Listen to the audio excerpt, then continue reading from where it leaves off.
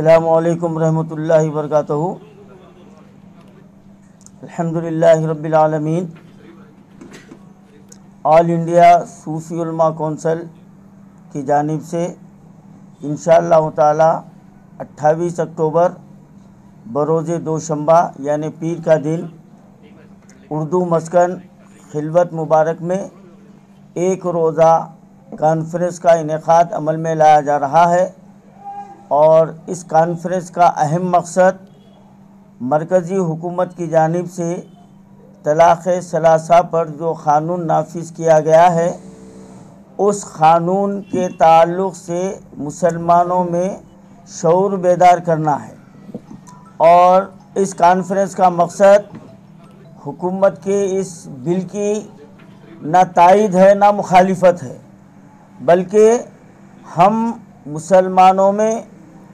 جو تین طلاق کا رجحان جو آج کل نوجوان نسلوں میں جو بڑھتا جا رہا ہے، ہم اس رجحان کو ختم کرنا چاہتے ہیں اور نوجوان نسل کو اسلامی تعلیمات سے آراستہ کرنا چاہتے ہیں اور فقہی مسائل سے ان کو واقف کروانا چاہتے ہیں۔ اس کا اہم مقصد یہی ہے اور اسی مقصد کے تحت ہم نے اس کانفرنس کو منعقد کیا ہے۔ اور انشاءاللہ تعالی یہ ایک روزہ کانفرنس کے تین سیشن ہوں گے۔ پہلا سیشن خواتین کے لیے ہوگا، جو دن میں گیارہ بجے تا دوپہر چار بجے تک رہے گا، جس میں انشاءاللہ تعالی کئی خواتین، دانشوران اور علماء مفتیان، جس میں قابل ذکر ڈاکٹر مفتیہ رضوانہ زرین، پرنسپال وہ شیخ الحدیث جامعۃ المومنات ہیں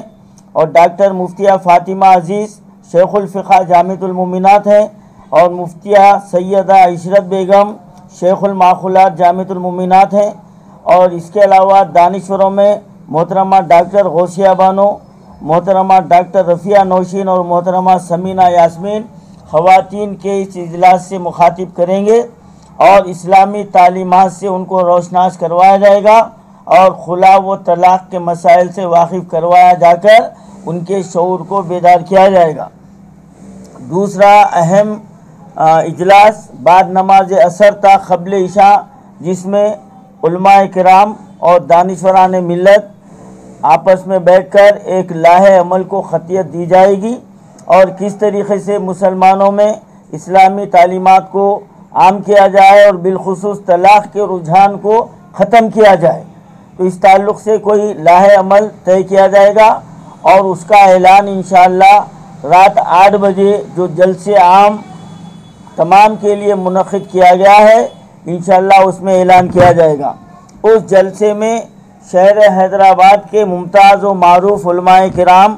جن میں قابل ذکر حضرت مولانا خالد سیف اللہ رحمانی صاحب، جو all India Muslim personal law board کے سیکرٹری ہیں وہ خصوصی طور پر تشریف لا رہے ہیں اور حضرت مولانا مفتی سید صادق محی الدین صاحب،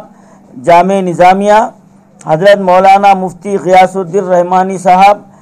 صدر جمعیت العلماء ہند، تلنگانہ و آندھرا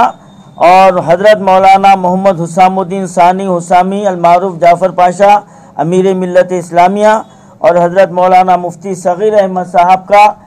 خصوصی خطابات ہوں گے۔ اور ان کے علاوہ شہر حیدرآباد کے ممتاز علماء اکرام و مشائق عظام کا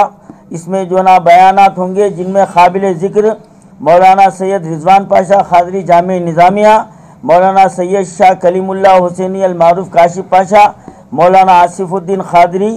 اور مولانا محمد بن عثمان الدینی، مولانا ڈاکٹر آصف عمری، امیر اہل حدیث اور مولانا معصوم خادری، مولانا حافظ و خاری محمد علی خان صدر آل انڈیا ائمہ بورڈ اور محترم ڈاکٹر مجید بیدار صاحب، صدر شعبہ اردو جامع عثمانیہ، ڈاکٹر خدوس نورانی صاحب، جناب محمد عبدالستار مجاہد ایڈوکیٹ اور مولانا حافظ نذیر نادر اور الحاظ خواجہ بابر صاحب۔ ان شخصیات کا اسی عنوان پر بیانات ہوں گے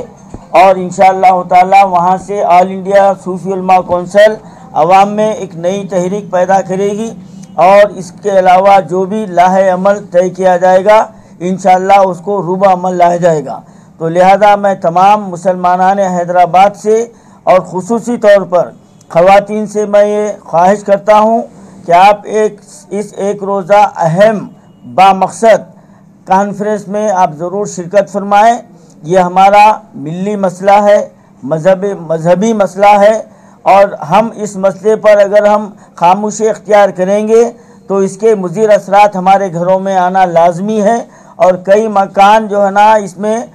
مکانوں کے ٹوٹنے کا خدشہ ہے، ہم کو اس سے بچانا ہے۔ الحمدللہ، شہر میں کئی مقامات پر کام چل رہا ہے، لیکن ایک مرکزی حیثیت سے، مرکزی نقطۂ نظر سے اس کام کا جو نا آغاز کیا جا رہا ہے۔ آل انڈیا صوفی علماء کونسل کی جانب سے تو میں تمام مسلمانان حیدرآباد سے پرزور خواہش کرتا ہوں کہ آپ اس کانفرنس میں زیادہ سے زیادہ تعداد میں شرکت فرمائیں اور اپنی ایکجہتی کا ثبوت دیں۔